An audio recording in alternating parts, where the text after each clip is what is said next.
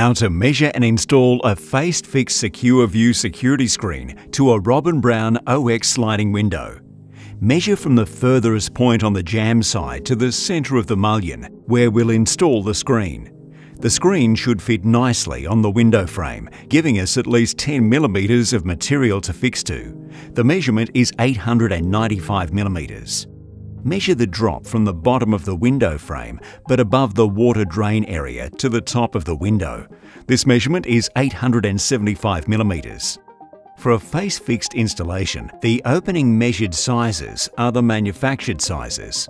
Use these measurements when creating your estimate and order in our ordering portal. Before installing the screen, mark the holes with a pencil, positioning the fixing places evenly across the screen. If you're installing lots of screens to your customer's house, be consistent across all screens for a neat and professional appearance. Start by marking 100mm from each corner and spacing the others equidistant and approximately 300mm apart. Install by lifting the screen and placing it in the correct position, aligning the security window screen with the glass window frame. Fix the mullion side first, holding the screen against the receiver side for better fitment.